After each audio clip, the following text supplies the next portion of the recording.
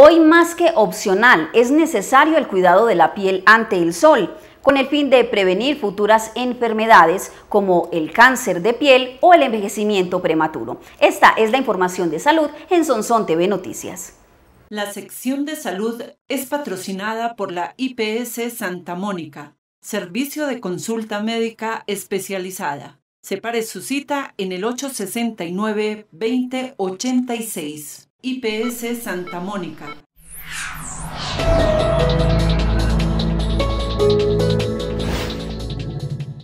La sombra de las gafas de sol, las prendas de vestir y los sombreros son la mejor protección. Además, es necesario aplicarse una crema con filtro solar en las partes del cuerpo que quedan al descubierto.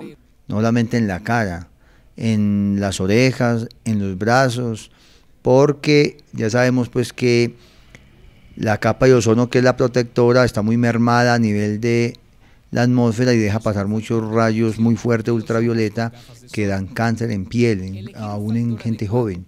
Entonces el antisolar, lo ideal es, si es durante todo el día que va a estar en, eh, zonas abiertas, por la mañana y al mediodía, dos veces al día. Si es en piscina, recuerden eh, echarse cada hora no es que se echó por la mañana y estuvo cinco horas en piscina, no.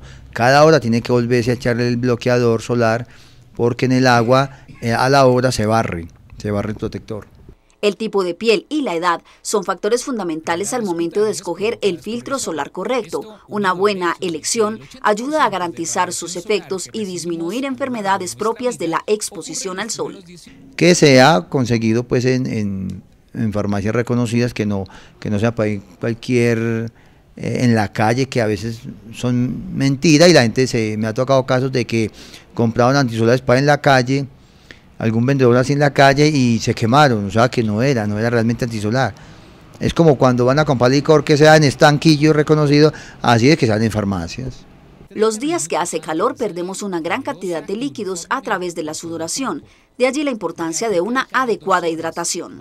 Principalmente en las edades extremas, en los niños y en los ancianos, agua libre si no hay contraindicación, o ya en deportistas aumentar la hidratación. Eh, hay ciertos líquidos especiales para el ejercicio, no es suero, que el suero es para las diarreas tiene mucha cantidad de sodio, no es suero cuando uno hace ejercicio.